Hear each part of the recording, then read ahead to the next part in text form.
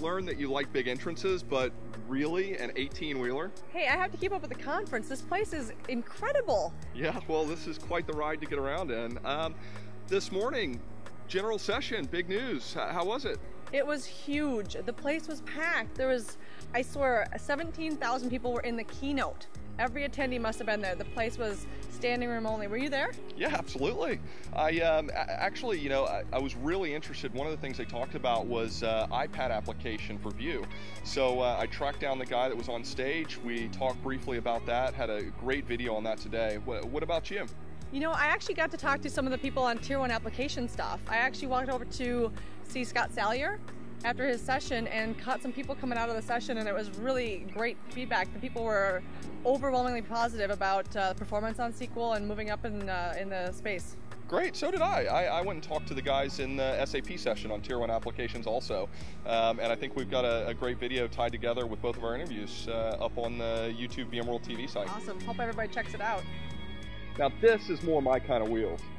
You know, it's not 18, but two is a good start.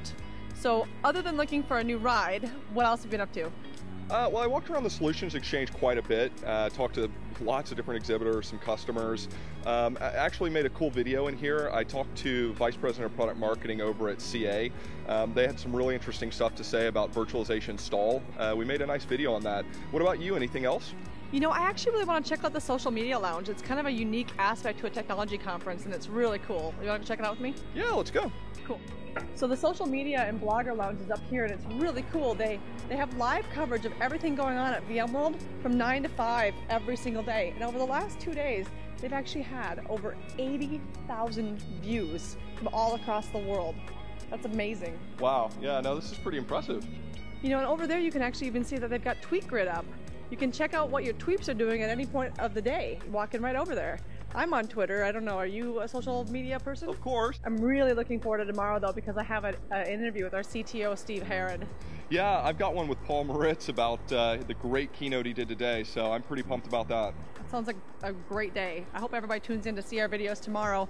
Otherwise, have a great night, and I'll see you in the morning. Absolutely. See you tomorrow. Sounds great.